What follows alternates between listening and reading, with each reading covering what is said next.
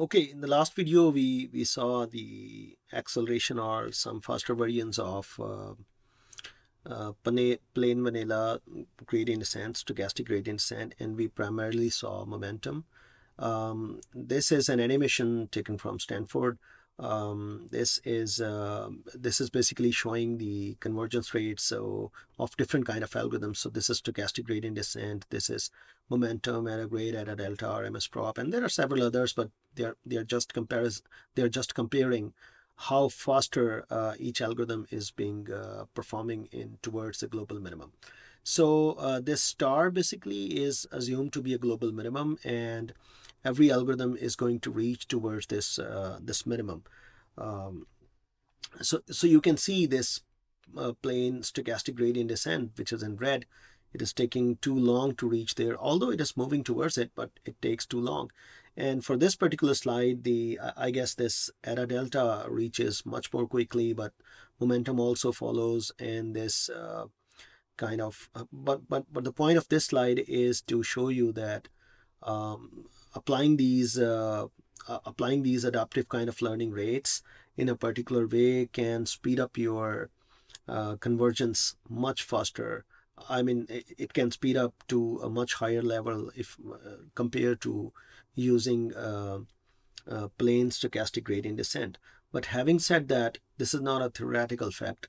I mean, no one can prove that a particular algorithm may be momentum or AdaDelta or RMS prop, which one is going to work the best for the new data set. Or even maybe stochastic gradient descent is going to work the, the fastest in, in the fastest way for the new data set. No one can no one can claim that in theory till now. But in practice, I mean, empirical results have shown that these uh, these kind of accelerations they they actually speed up the the convergence issue.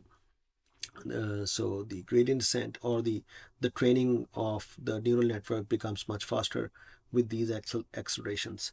So um, for now, if you if I tell you the default uh, kind of default practical choices is that you should use mini batches. So mini batch, you should you should use mini batches. Uh, you should use batch normalization. And you should use uh, accelerated algorithms maybe momentum based algorithms or second degree algorithms or something like so. Um, and uh, there should I mean uh, no fixed learning rate no plain vanilla stochastic gradient descent.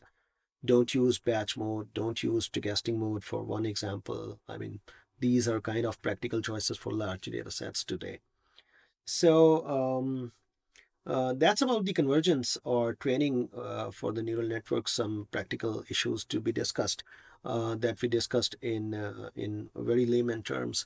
Um, in the next few slides, I'm going to discuss the regularization in, in deep neural networks because the regularization techniques in deep neural networks uh, are, are a bit different than the standard regularization techniques in machine learning. So hope to see you in the next video.